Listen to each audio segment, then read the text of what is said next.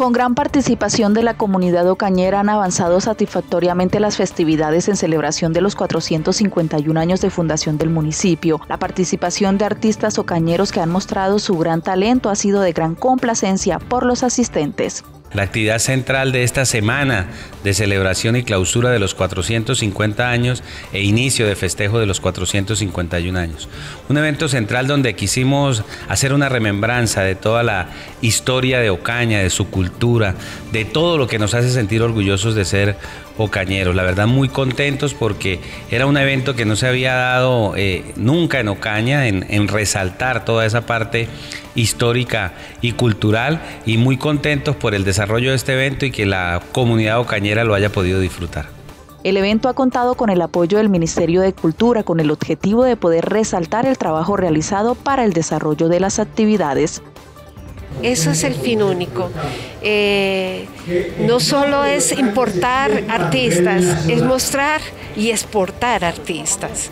Y eso es lo fundamental para el reconocimiento y la transformación de nuestro país.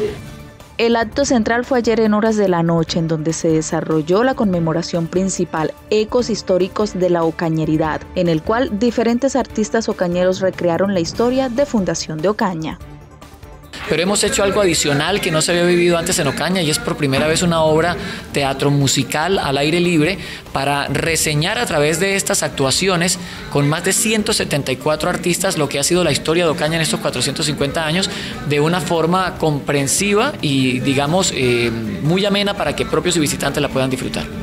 Para mañana la programación contará con la participación de diferentes grupos de danza del municipio.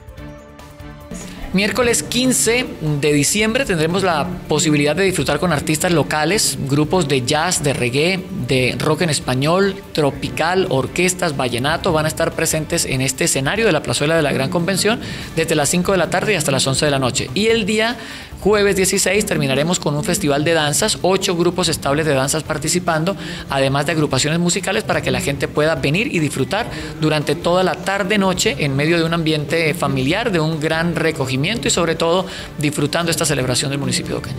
La invitación a toda la comunidad es a participar de las actividades de manera organizada y cumpliendo todos los protocolos de bioseguridad.